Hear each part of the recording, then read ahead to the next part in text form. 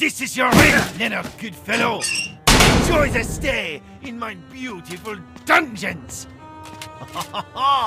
Forever and ever. One less problem, your highness. One, two,